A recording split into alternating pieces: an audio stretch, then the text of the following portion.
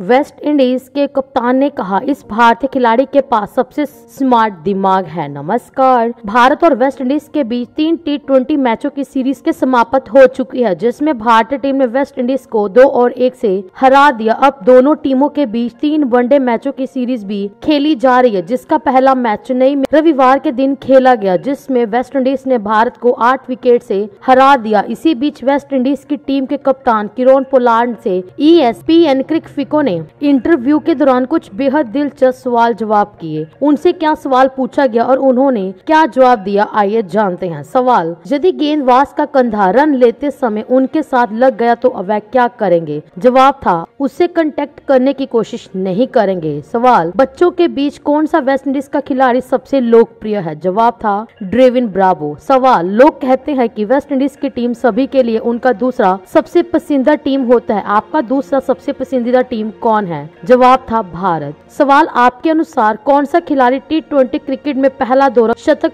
लगाएगा। सवाल था क्रिस गेल। सवाल, दुनिया के किस मैदान पर छक्के मारना सबसे मुश्किल होता है? जवाब था, द गाबा, ब्रिस्बेन, ऑस्ट्रेलिया। सवाल, फैंस आपकी कौन सी चीज़ को सबसे ज़्यादा पसंद करते हैं? जवाब था, मेरा छक्का लगाने की काबिलियत। सवाल, आप जितने खिलाड़ी को जानते हो, उनमें से सबसे ज़्यादा स्मार्ट दिमाग किस खिलाड़ी का है? जवाब, महेंद्र सिंह धोनी और महिला जयवर्धने। सवाल, यदि आपको पीएचडी करने का मौका मिलता है तो आप किस विषय में करना चाहेंगे? जवाब, लोगों लोगों के दिमाग को पढ़ने में।